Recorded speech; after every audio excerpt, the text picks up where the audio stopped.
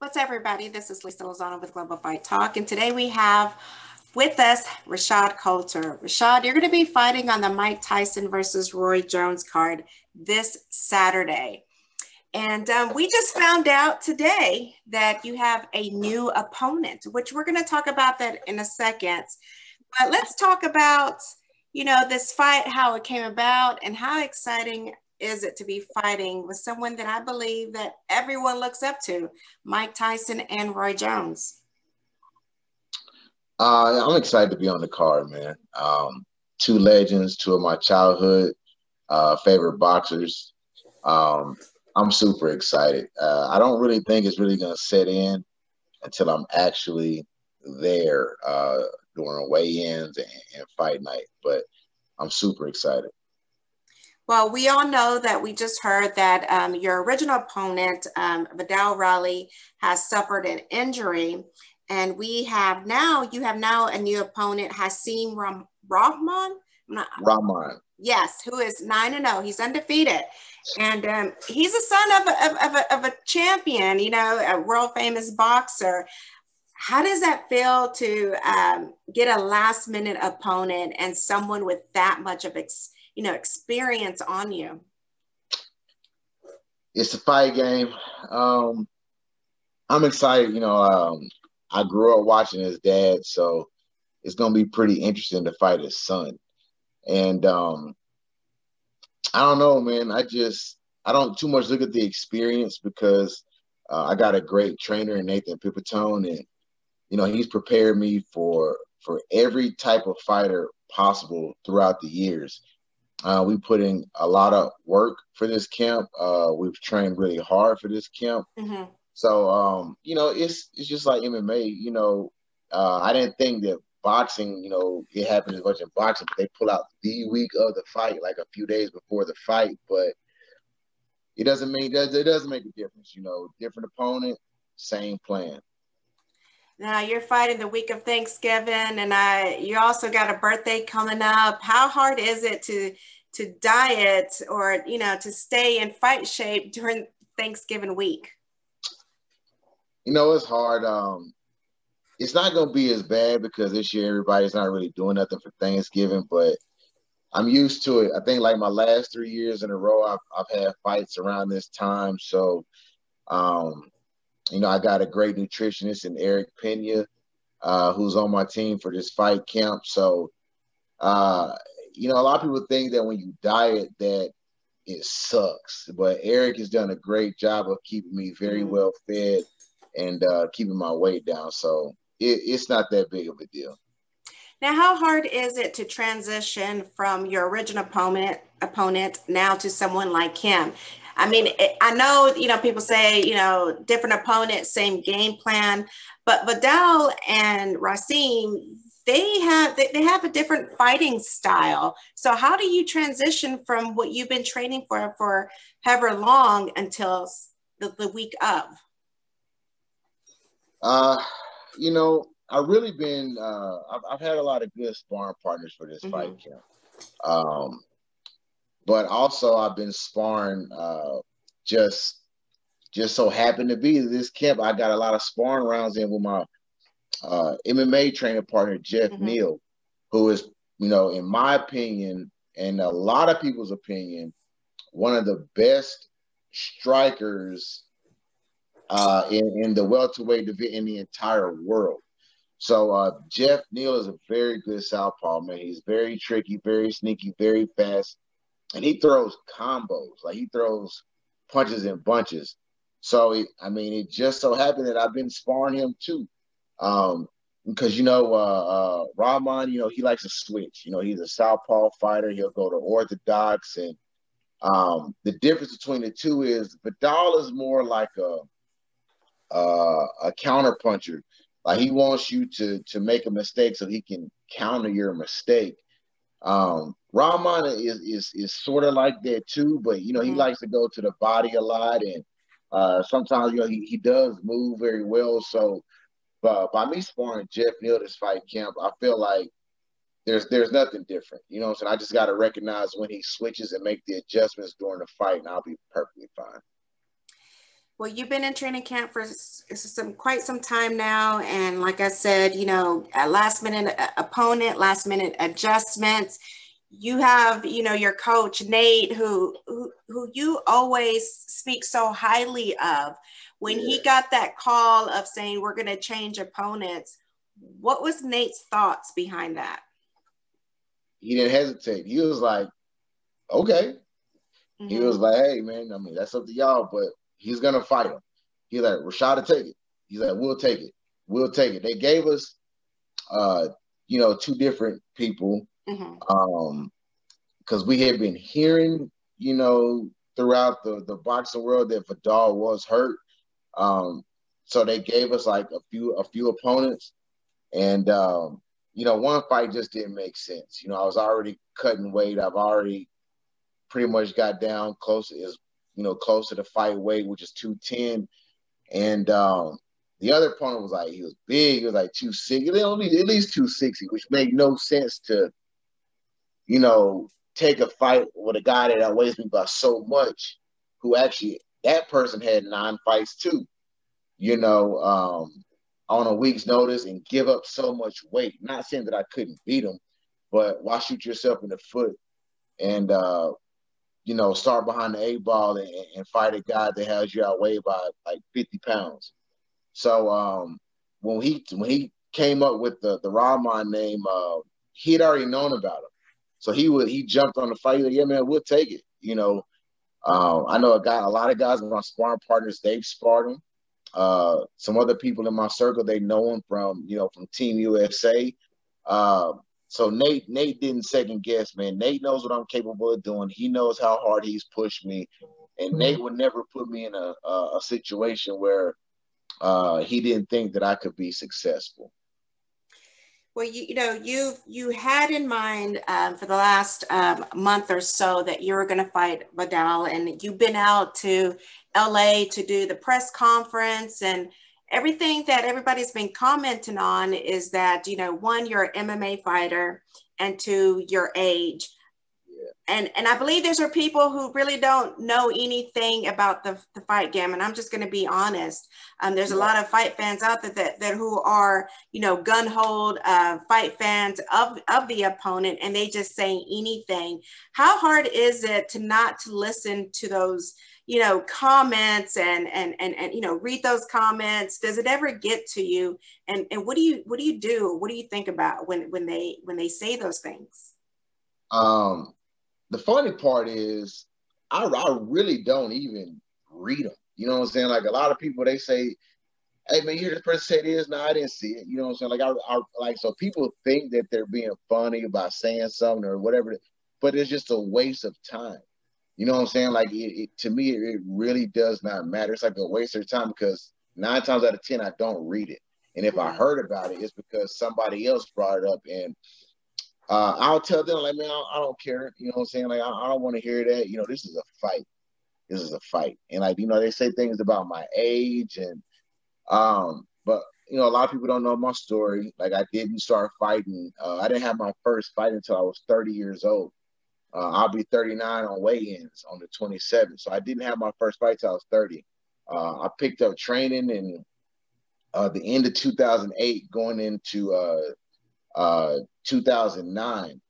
Um, and from that moment on, man, like I just fell in love with it. I never, I didn't have a background in boxing like a lot of these guys. I didn't have a background in wrestling, jujitsu, none of that. Like I just came fresh off the couch. I'm an athlete, and I felt as though, um, at the age of almost 30, that you know I can get paid for fighting, and I had like a lot. I was getting into a lot of trouble, and it was a great avenue for me and uh, I just fell in love with fighting. I just picked it up real quick, and like in, within five years, I made it to the UFC at the age of 35.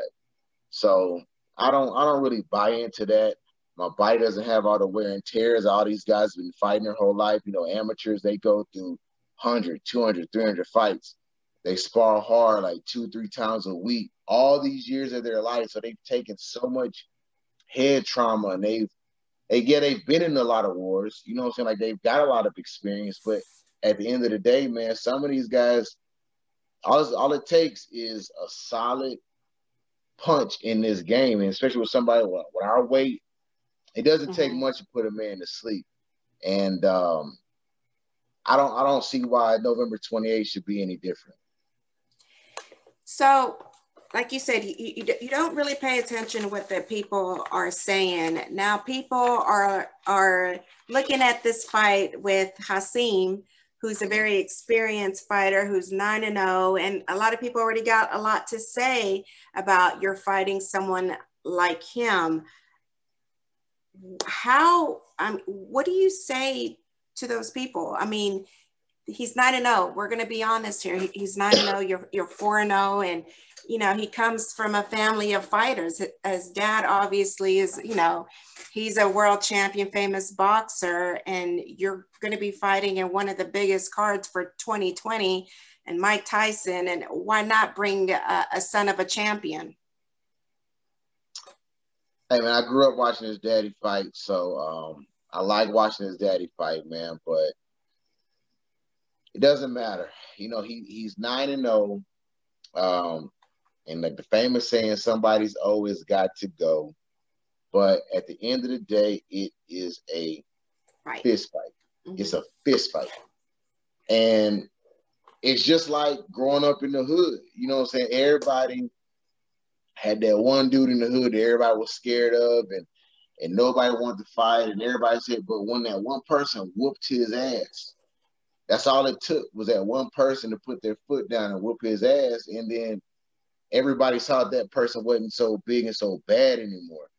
Now I'm not saying that Rahman is not. I'm, I mean, I'm not saying that that's him, but I'm talking about from his record wise, from how long he's been in the boxing game. Like he's been around. He's been around fighting since he was a kid. That he's been doing is like he's comfortable in there. Like he knows how to, you know, try to make you fight his kind of fight without doing too much, but still trying to look like he's winning.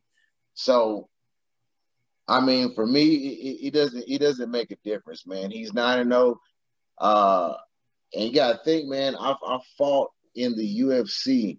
You know what I'm saying? To make it to these levels, you're fighting some of the most dangerous men on the planet.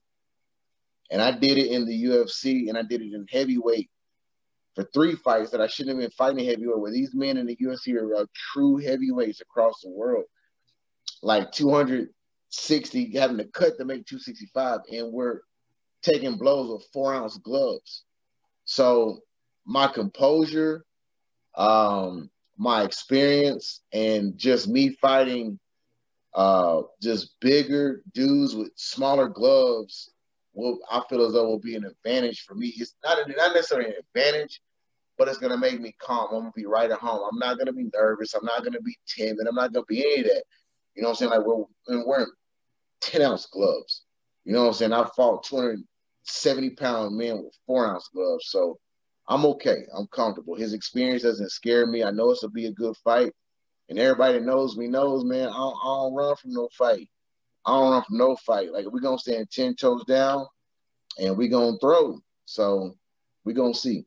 Let me ask you this: How did this fight come come about? You know, there there's a lot of fighters they could have chose, and they and they chose you. And and I know there's people out there like, oh, they could have chose, you know, this person who who's an act who's been fighting in boxing, who's an actual boxer, and with this type of experience. How did they how did they find Rashad Coulter and how did this fight with Vidal come about? Um they originally offered it to uh one of my friends, but you know, he didn't take the fight and you know, he threw my name out there. You know, and I'm just blessed that I got people um who speak my names, uh, who speaks my name in rooms with big time people when I'm not around. And uh, Muhammad King Mo, Muhammad Lawal, he did that for me. Um, you know, he saw an opportunity. He felt that you know it will be lucrative for me and, and will bless me. And he, he threw my name out there. And you know, it's no secret they jumped on it because they felt as though I was just an MMA fighter. They thought I was one and zero, oh, um, and they thought because of my age was going to be a factor. Uh, so of course, man, you know it's the boxing game. You know, you see a lot of these boxers like 20, 20 something to know or 30 something to know, but they haven't really, really, truthfully been tested. You know, so um, so the fight came about because he threw my name in the hat, you know, and they and they chose me because they thought it was going to be an easy fight. But man, they're in for a rude awakening. Does that make you mad that people think that that you know you're because you're an MMA fighter, this is going to be a walk in the park? Yeah. Uh, nah, man, it don't make me mad. You know, I'm past getting mad now. I really don't care what people think. You know, uh, I had a partner that told me, man, a pair of lips will say anything. You know, so people just talk. Mm-hmm. You know, and sometimes people are mad because it's not them. Uh, and sometimes people just got a lot of hate in their heart.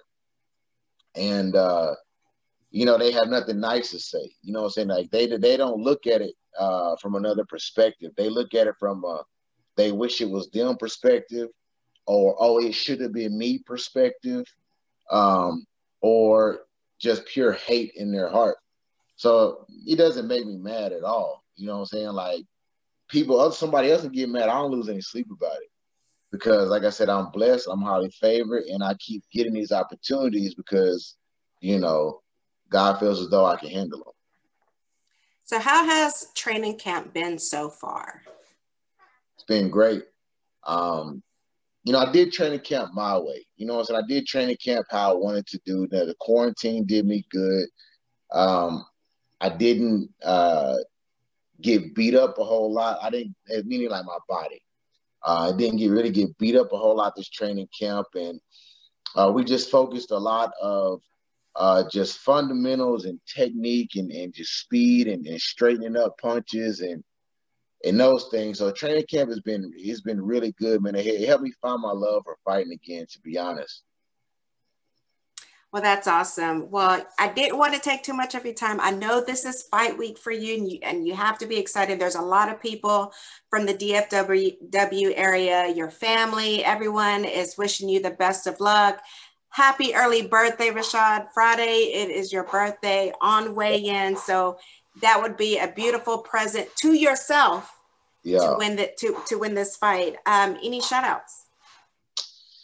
Uh yeah, man, I would like to shout out uh, my boxing coach, man, Nathan Pipitone, man. Like he's he's poured a lot of his heart into me, man, his blood, sweat, and tears. And you know, he's never gave up on me over the years, no matter if I lost in MMA or he's always been the same, man. And you know, I always gotta shout that dude out. Nate Pipitone is just a great human being.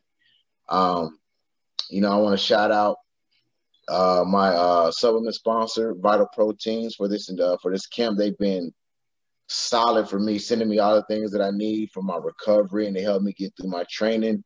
Um, I want to say thank you to the Hemp Pimp, uh, one of my sponsors, uh, as well as I want to thank Eric Pena, man, um, for uh, Pena Performance, my nutritionist, man. He he's been solid, man, this whole camp, and he's been very easy to work with. He's helped me keep my weight down, and uh, I'm just looking forward to going out there and performing this Saturday, man, and just showing the world, man, like I feel good, man, and I feel good, and I'm just glad to be fighting. Well, I'm excited for you, Rashad, to be stepping in the ring this Saturday. Um, this is going to be pay pay per view, and I yeah. think I think it's like forty nine ninety nine or something like something like that. Yeah, something like that. And um, it's it's this Saturday, and it's you guys are going to be fighting at the Staples Center, which right. is another legendary place that you're going to be fighting at, along with Mike Tyson and, and Roy. And right. um, before I, I, wrap this up, you guys that push play, thank you very much. Make sure that you follow all of our social media sites Instagram, Twitter, and Facebook. Until then, we are out.